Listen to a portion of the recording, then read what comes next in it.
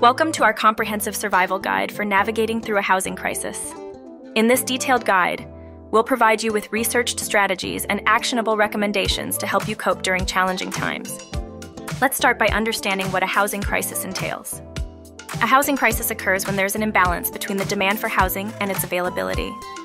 This imbalance can be triggered by economic downturns, population growth, limited housing supply, or unexpected events such as natural disasters or pandemics. Okay, now let's move on to financial planning and budgeting. Financial planning and budgeting are essential during a housing crisis. Begin by conducting a thorough review of your finances. Identify essential expenses, prioritize payments such as rent or mortgage, and consider negotiating with lenders or landlords for temporary relief. Additionally, explore ways to increase your income or reduce non essential expenses.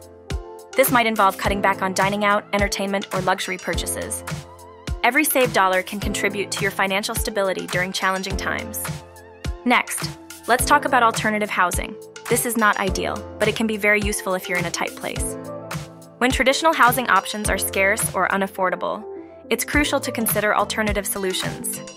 Consider sharing a living space with roommates or family members to split costs and reduce financial burden. Or look into short term rental options or subletting arrangements until you find a more permanent housing solution.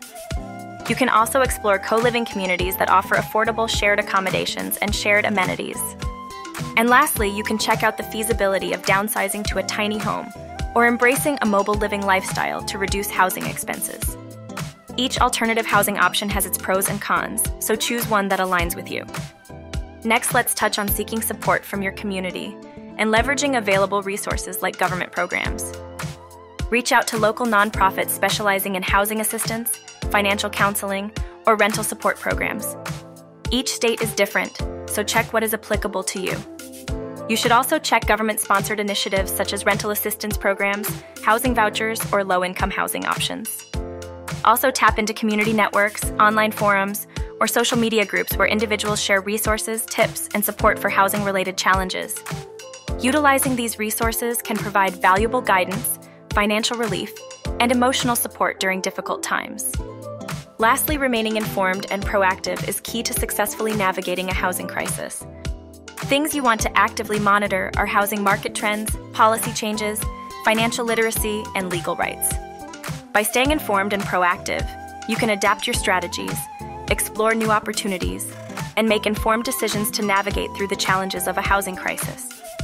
It's easier said than done. But the important thing here is to be consistent daily instead of trying to learn everything in one day. In conclusion, with careful planning, resource utilization, and proactive measures, you can successfully navigate through a housing crisis.